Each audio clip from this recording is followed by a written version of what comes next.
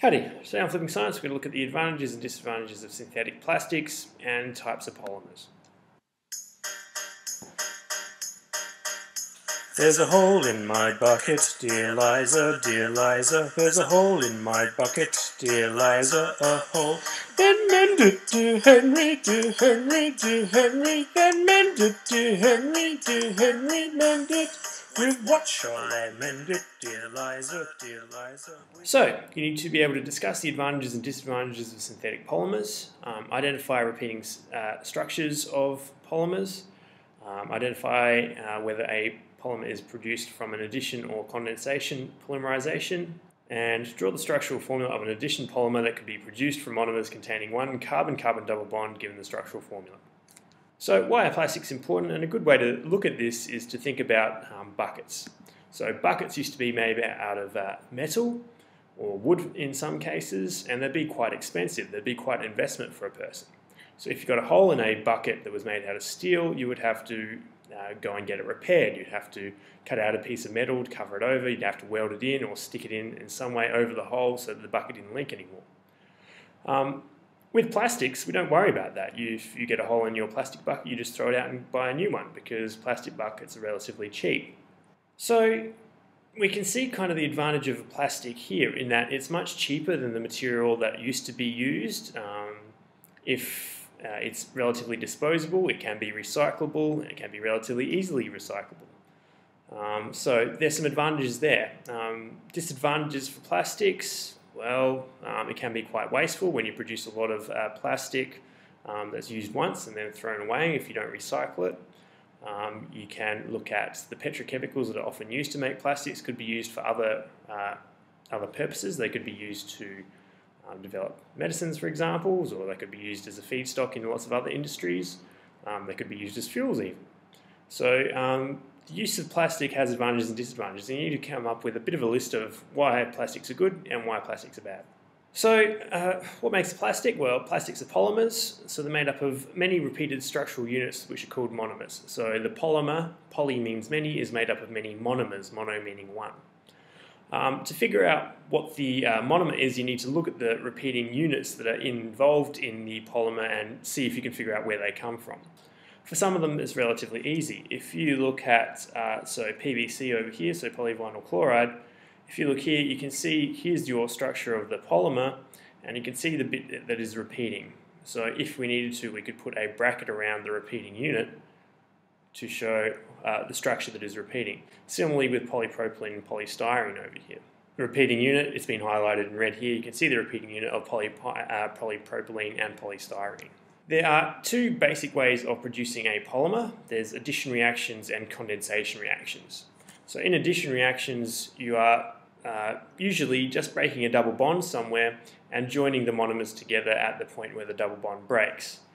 Um, with uh, condensation polymers, you get a small molecule being emitted when your monomers join together. So if we look at the structures of some of these polymers, we should be able to figure out how it's been produced by looking at the structure.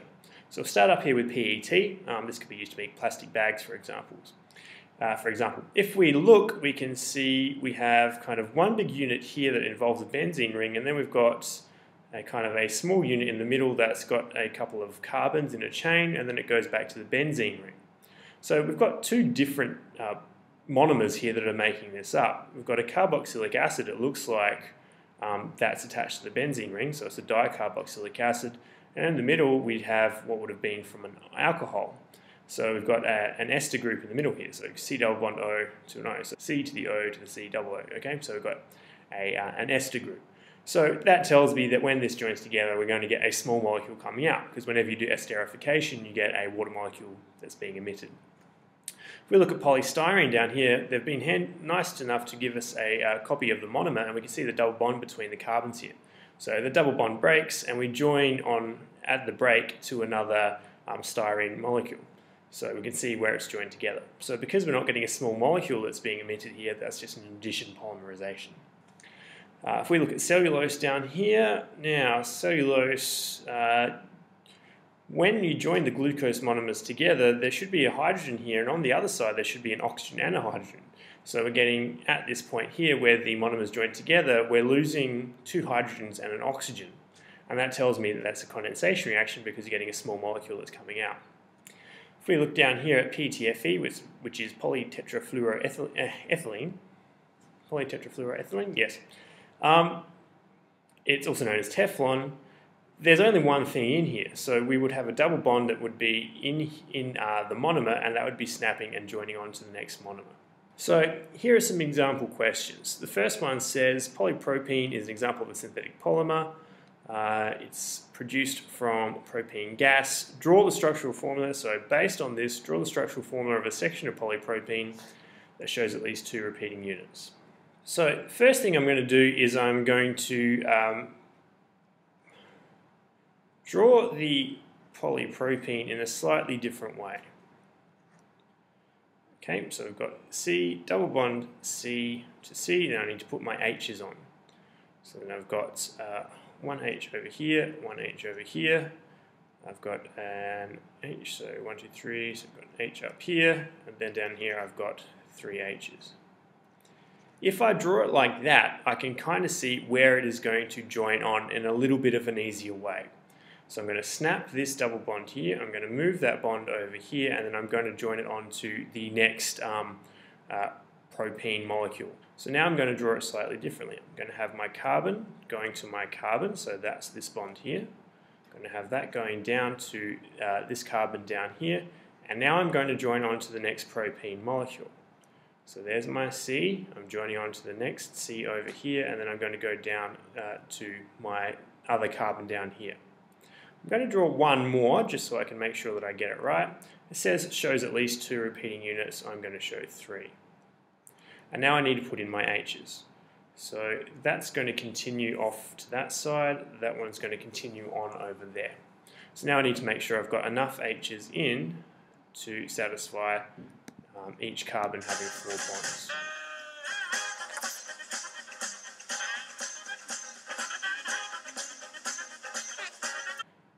So there we go. So we can see what the repeating unit looks like. Um, so that's this central unit here, that's the repeating unit, and I've put three together just so I can make sure I get it right. Second part of the question says identify the type of polymerization reaction by which polypropylene is manufactured. Um, all I'm doing is breaking a bond and then joining one monomer onto the next. I'm not getting a small molecule that's being emitted, so that means this is an addition polymer. So I'm just going to write in addition. The next question says, uh, talks about Kevlar. So the first part down here, so we've given some uh, a diagram of Kevlar. It says uh, circle an amide group. So to find an amide group, C double bond O NH. So here we have an example amide group. Right, and it says name the type of polymerization. Now what I'm going to do to make this easier is I'm going to circle the repeating unit. So I'm going to use some brackets here to show what the repeating unit is. And then I'm going to draw over here uh, what the repeating, what the monomers would look like that make this. So we've got a benzene ring in both of them. So forgive my hexagons. Wonderful. All right. Now, the first one over here, if we look at this, uh, the benzene ring goes to an NH. So I'm going to go to my N. Now, it doesn't wouldn't go to 1H in the monomer, it would go to 2. So we'd have a diamine or a diamino. So that would be my first monomer here. If we look at our second part here, attached to the um, benzene ring, we've got C double bond O. You never get C double bond O by itself, that would be a carboxylic acid group. So we've got C double bond O, and that would go down to OH. And that would be the same on both sides. OH, all right?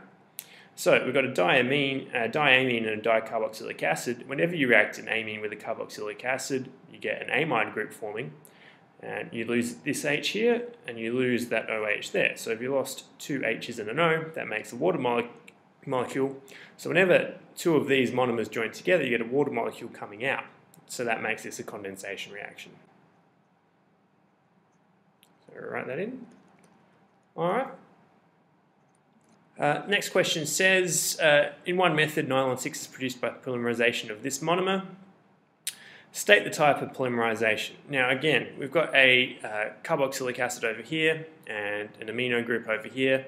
So when they join together, you're going to get water coming out, so that's going to be condensation.